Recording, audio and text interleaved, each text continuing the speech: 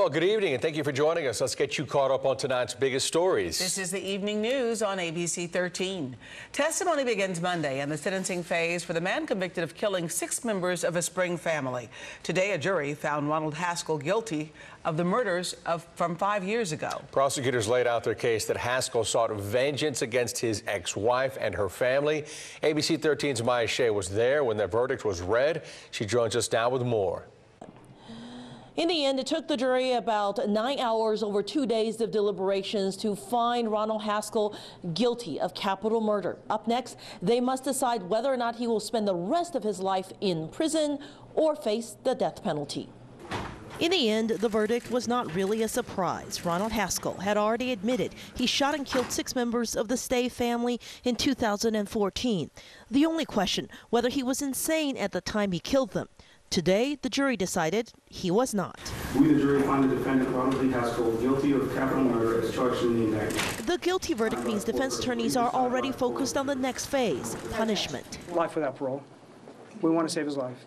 That's our job. Prosecutors are asking for the death penalty, pointing out that Haskell tried to kill all seven members of the Stay family. Cassidy Stay only survived by playing dead. Now, the 20 year old was in court with supporters today. She fought back tears as she hugged prosecutors. They will return for the punishment phase that will begin on Monday. And defense attorneys admit getting a life sentence for their client won't be easy. Obviously, you've got to overcome the emotional component of that. And, uh, you know, again, I don't know what was going through the jurors' minds, but it's a difficult verdict. We knew going into it, it was going to be a difficult verdict for them. The jury expected back here in court Monday morning at 9 o'clock for the punishment phase, a portion of this trial that could last another two or three weeks. Reporting downtown, Miya Shay, ABC 13, Eyewitness News.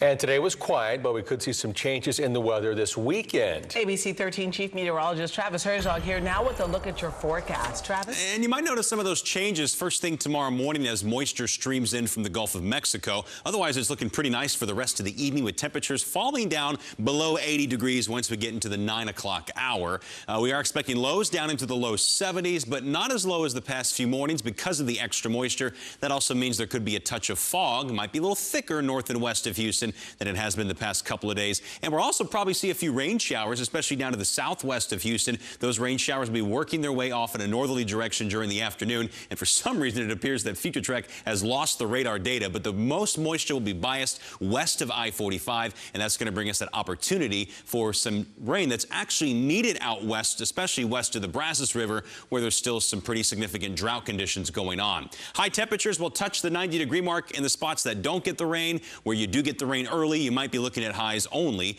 in the upper 80s, but that's actually average for the time of year. Meanwhile, in the Atlantic, we're monitoring Category 4 Hurricane Lorenzo. Uh, this is a, near record strong for this time of the year in this part of the Atlantic, where the waters aren't nearly as warm as they are farther off to the west. Then we have Karen, which is still a ragged-looking tropical storm, expected to make that loop back westward, but the official Hurricane Center forecast calls for this to get shredded apart by wind shear and dry air and become a depression. We'll watch the remnant moisture, but what we really need to watch is moisture in the Gulf and moisture building in the Caribbean. Uh, the moisture in the Gulf is what's heading our way for Friday and Saturday, brings a chance of scattered downpours. And then we're looking at an increasing chance of showers and thunderstorms on Saturday, again biased west of I-45, which will keep more neighborhoods rain-cooled with highs in the 80s. Then after uh, Saturday, the moisture begins to move out, so by Sunday, it's a 20% chance of storms, and those highs are right back at 90 degrees as we go into the early days of October. And by the first in October, another big surge of tropical moisture may be coming in because the pattern remains more like August than like October, and that means no fall fronts right now in our 10-day forecast. All right, Travis, thank you.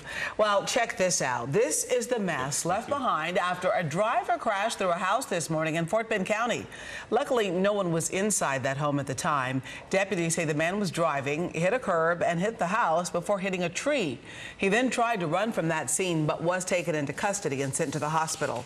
We still have no word, though, on what caused him to hit that curb. And how about this uh, unpleasant surprise, if you will, for a customer eating lunch at Cheddar's. He got pinned in a booth when a car hit the restaurant in Spring.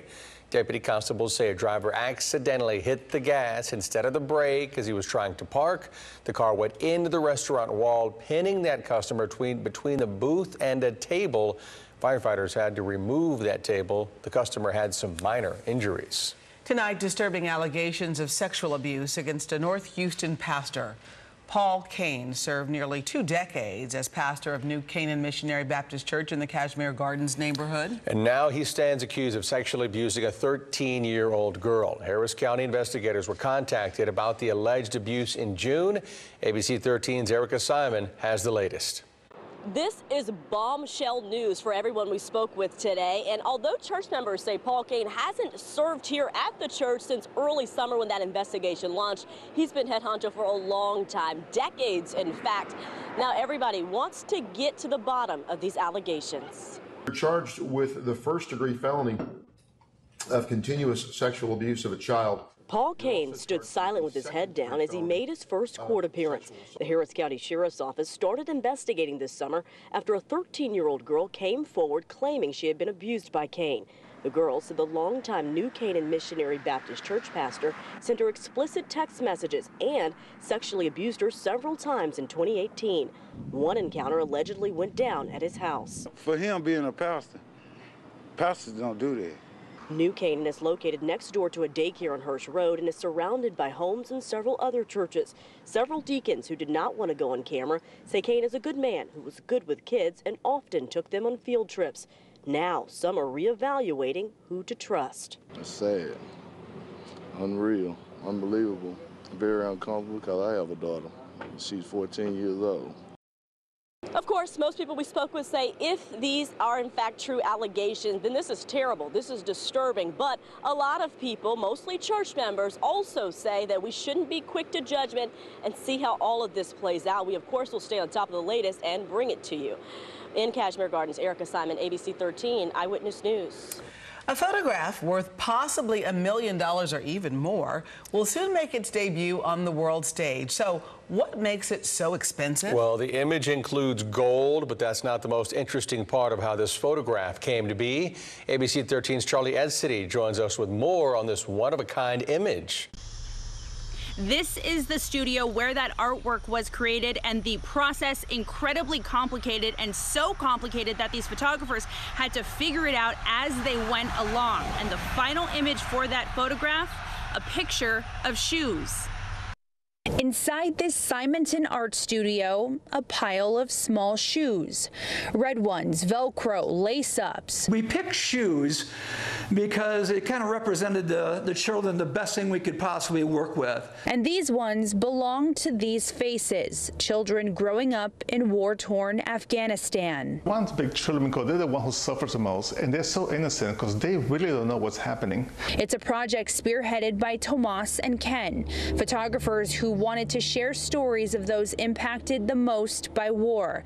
So they went to Afghanistan, risking their lives to find those who face danger on a daily basis. He basically had them smuggled out of where they were at. They were living basically in Taliban controlled areas. And the outcome, a gallery of stunning portraits of those they met. And of course, the shoes. The children that these shoes belong to really have gone through some terrible things. I mean, you know, I mean, some of them are dead. A photograph of the shoes in front of the gate of Sharkent has been created into a one-of-a-kind piece of art.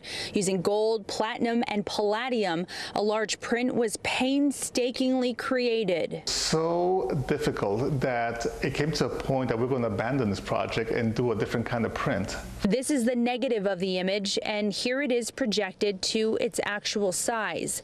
As for the finished piece, the artists say you'll have to wait. They will showcase it at an open house in December. But you're there with the people, and they're so warm, so welcoming. And to see someone that have nothing and give everything is so unusual. We're in Simonton. Charly Edsitty, ABC 13, Eyewitness News. Well, perhaps we have a buyer for uh, that art because a lucky winner is about to come into a small fortune after hitting the Lotto Texas jackpot last night. Yeah, you could call it a small fortune, right? Someone purchased a ticket at this Murphy USA station off Highway 105 in Montgomery County, and they matched all six numbers correctly. The jackpot was more than 23 million bucks. So the deal is, under Texas law, they can remain anonymous if they won more than a million, which of course they have. This person has 180 days to claim their prize. Who knows? Maybe it was one of us here. You won't know.